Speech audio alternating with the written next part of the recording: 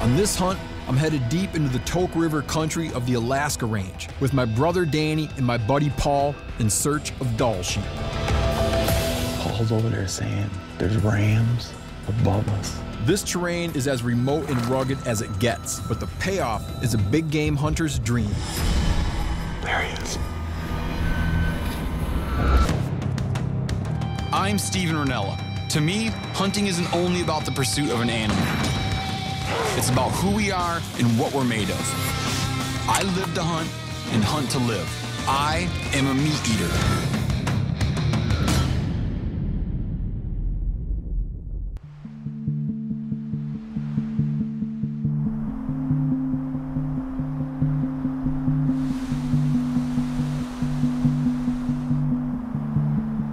The Tok Management Area. This might mean nothing to most people, but to mountain hunters, it is the top tier of high country, public land sheep hunts. This is the big leagues, an area that offers high quality and challenging hunts in one of Alaska's most majestic mountain ranges.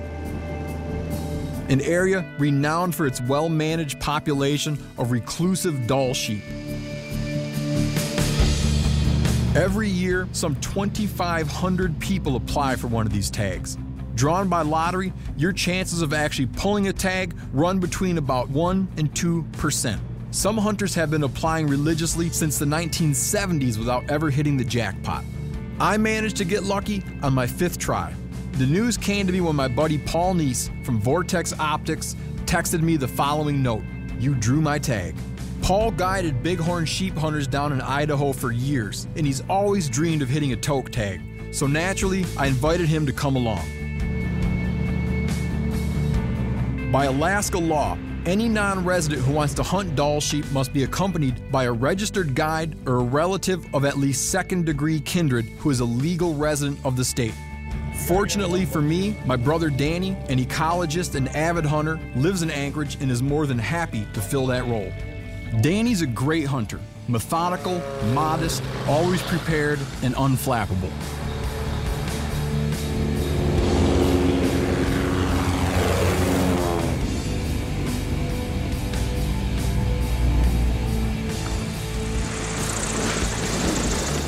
Dropped off on a remote landing strip in the Tok Valley, the reality slowly sinks in as we begin to formulate a plan. After an entire year of studying maps, it's hard for me to believe that I'm finally here. If you get up on that, on that little knob right there, you could look up this valley and a lot, and at several of these. Right. The more you say it, you're probably right. Is just to have one guy go there, and then one or two guys go here. Paul, are you, are you planning to spend the night up there or come No, down what, either way? what I'll do is we'll we'll coordinate before we take off. We'll match our watches up, and we'll figure out, you know, a couple basic hand signals, and and be watching for each other across on the hour. And if I Yeah. get and I see some nice see, like, rams triple- that are that curler. are good shooter rams, at least you'll know that there are rams on the other side, and then you guys might decide to come and take a look at those rams. But we should be able to see a lot of a lot of country that way between us. Sounds good. We should set up our gear anyway.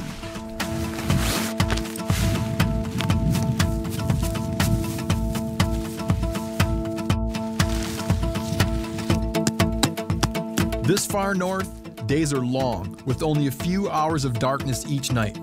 By the time our camp is thrown together, it's well past 9 p.m., but there's still several hours of daylight left. Plenty of time to get in a little scout and put some eyes on the mountains. Even with the world's most coveted Dall sheep tag in my pocket, my chances of actually killing a legal ram are still less than 50%. And to maximize my opportunities in this area, I've also brought along a tag for grizzly bear, and Paul has one for black bear. One thing I've found, you see a hell of a lot more grizzly tracks than grizzlies. man. they got way over Probably a good thing. It's almost like they got outriggers that leave other sets of tracks. So we'll definitely be on the lookout for those as we scope out these ridges and basins. We scouted up the river, just see, you know, what kind of views we get back in these valleys.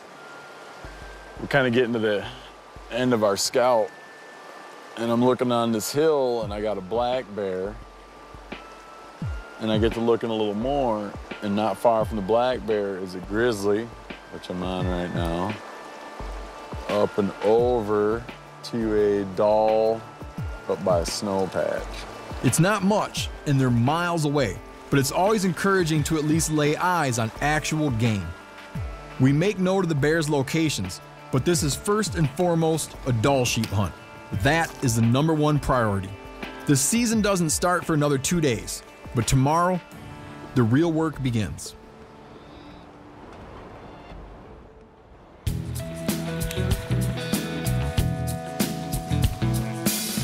In the morning, before we split up, we figure out a plan where we're going to look for each other later in the day, and we establish a rudimentary signaling system to communicate. If I give you this, that means whatever happened, we're headed down. You're bailing. We're bailing. Meet at camp. Meet at camp. We don't find each other. We never see each other. None of this works out. You'll come down if we're not here. and I'm gonna work my way up. What I'll try to do is I'll try to put myself in a visible spot. We can kind of visually keep tabs on each other and hopefully find some rams.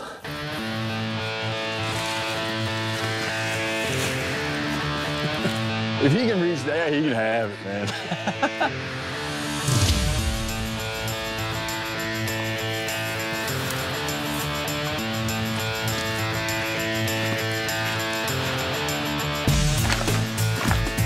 Our plan today is simple gain as much altitude as we can to get up into sheep country where we can see a maximum amount of terrain.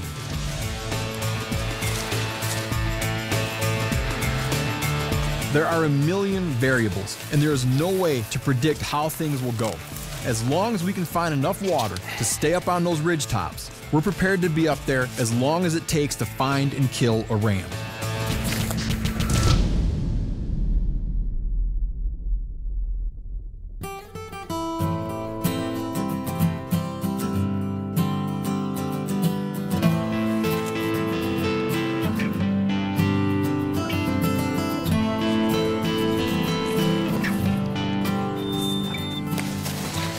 We're well over halfway up this mountain. It's still the day before season, and our goal is to get up on the peak. At the same time, Paul is over in those peaks, and we got a hand signal system set up so he can tell us what he sees. For today, we might not go any farther than right up there. If we can get up there and locate some rams, and it looks like there's a keeper in there, we're probably gonna bivy camp and just hold tight down here somewhere and then begin making a play on them in the morning. I'm reluctant to continue down that ridge line when it's not opening day yet because I'm too afraid of just standing up a big ram and not being able to shoot. So my thinking is our day might basically end up there somewhere. As we near the crest of the ridge that we're walking on, it's approaching the time Paul and I agreed to look for each other.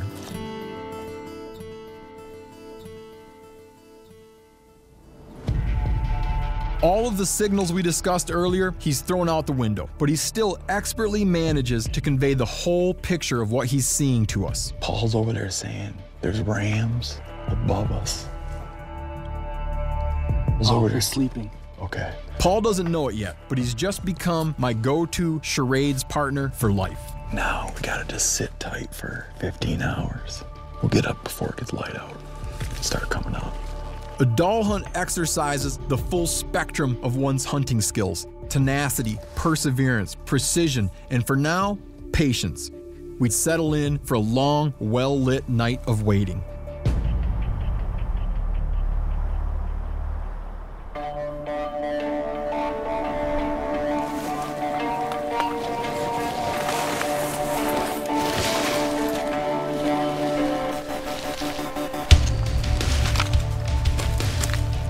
After a short night of fitful sleep, it's time to move. The season is open, and there are rams somewhere above us. The game is on.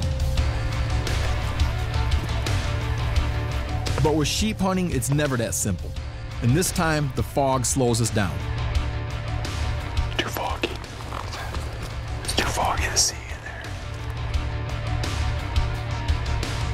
If we're out in the open when this fog clears up and visibility improves, we run the risk of having sheep spot us and spook off.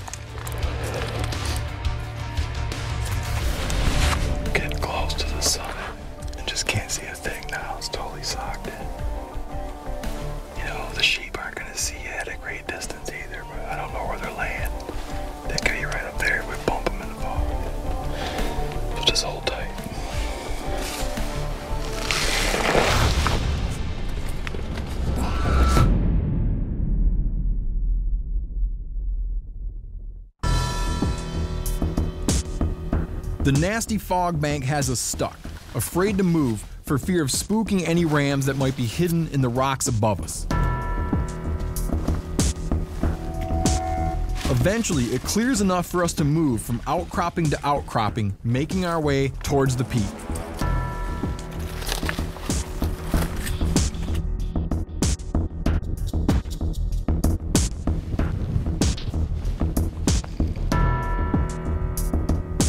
We press on to the top, and as the late morning sun begins to burn off the fog, the very thing I was afraid of happens. Two rams emerge from a fog bank. Danny and I are backed up against a shelf of rock, but moving is absolutely out of the question. Luckily, though, these rams have not seen us. We got up here in the fog.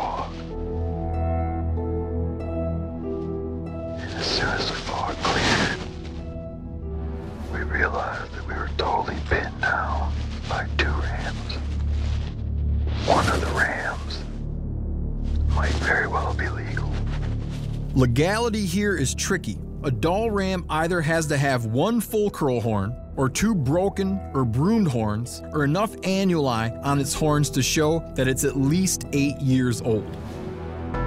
It's sometimes tough to determine legality from this distance, but one of these rams has a lot going on, and I want to get a closer look.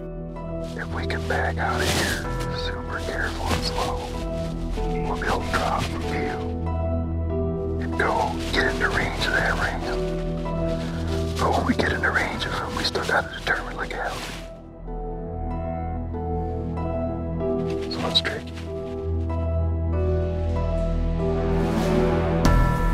There's no room for error. Every movement is slow and steady. If those rams catch a glimpse of us, they'll be gone in no time. We take turns, one of us moving, one of us watching the sheep. Thumbs up means it's all clear, thumbs down means stop.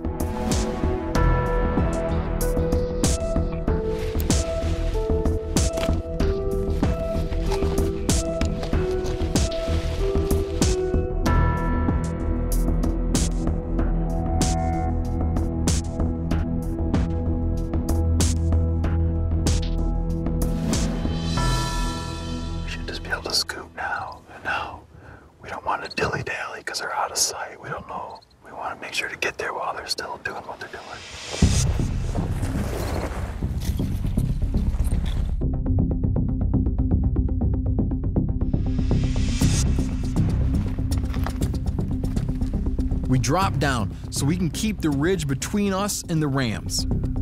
Meanwhile, and unbeknownst to us, the rams continue to move away, feeding as they work their way across the cliff face. I marked a large rock above the ram's last location, and I keep checking that rock with my rangefinder to determine my distance from the sheep without having to expose myself to their view. There's really no way for us to know this, but the rams are constantly moving, and they're getting close enough to a ridge that'll put them out of the way and beyond our reach. I want to get closer.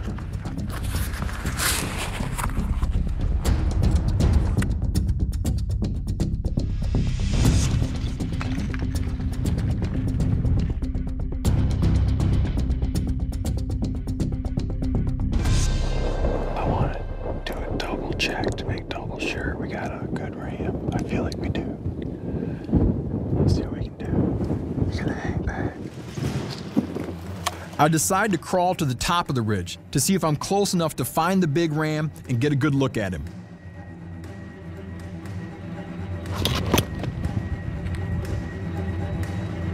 There he is.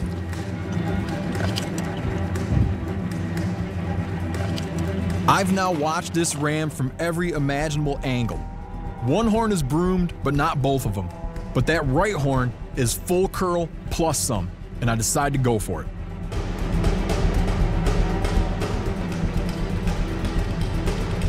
I gotta wait for him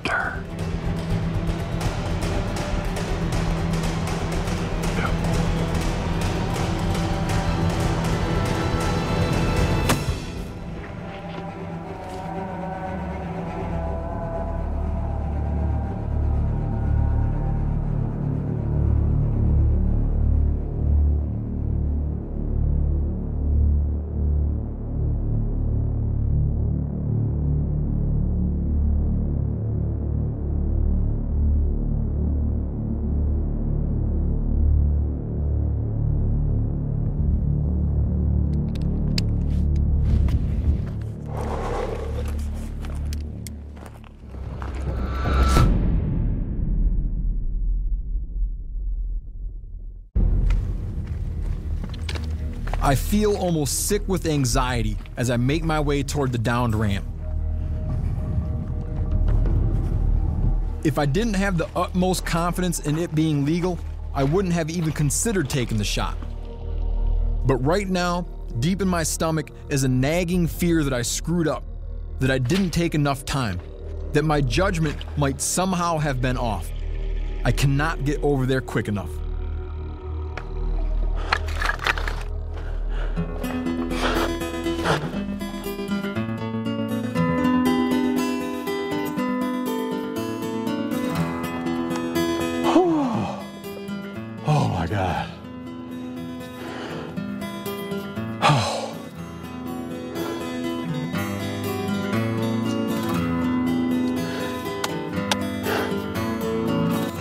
It's got a lot of growth rings and full curl. Yeah, that's nice. Oh. Oh. That is so stressful. As good as sheep hunting is, there's nothing worse than having to cover 350 yards of broken ground waiting to see. Paul! Steve, congratulations. I saw something coming across